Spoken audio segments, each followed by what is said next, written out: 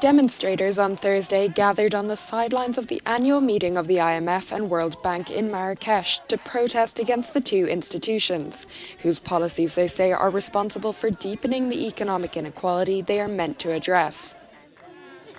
We are here to be in solidarity with other peoples in the world here in Marrakesh. First, to protest what the IMF and the World Bank has done to people all over the world that has added to our impoverishment and exploitation, the pushing of neoliberal policies.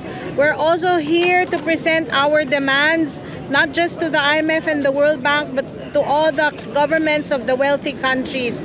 First, they must pay reparations for the historical wrongs they have done to the people of the South and we are calling for system change and not climate change. At a People's Alternative Global Tribunal organised in the Moroccan city, activists testified about how the policies of the two financial institutions impacted their countries and contribute to the impoverishment and exploitation of people around the world.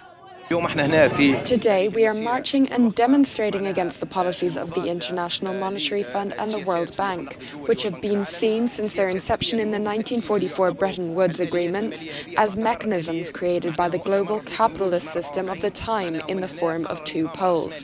One is financial in the form of the World Bank Group, and the other is monetary, represented by the IMF, whose principal mission is to dominate the wealth of the world's peoples. The organizations are holding their first annual meeting on the African continent for the first time in 50 years.